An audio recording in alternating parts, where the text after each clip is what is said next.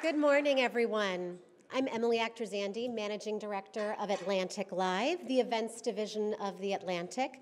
We bring our journalism to life on stages across the country. And we are so glad you are here for our forum, The New Rulebook, The Future of Tech Regulation. All of us have come to rely on technology in everything we do from communicating with colleagues to finding the quickest travel route to ordering gifts and groceries.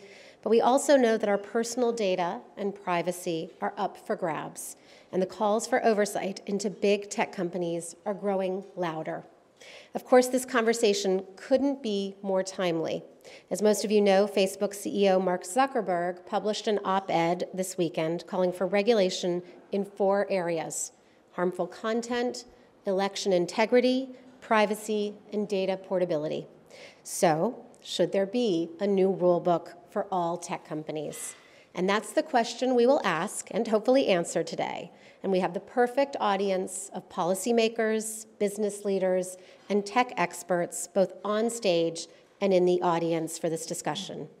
Before we dive in, I want to take a moment to thank our underwriter, PwC, for making this forum possible. We're grateful for their support.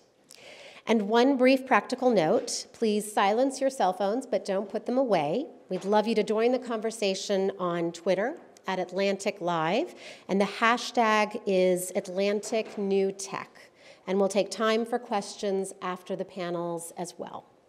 And now, for our first conversation on the role our government can play in regulating our technology industry, I'm pleased to introduce Democratic Congresswoman Susan DelBene, and here to lead the conversation is journalist and author Kathleen Koch. So, Kathleen and Congresswoman, welcome.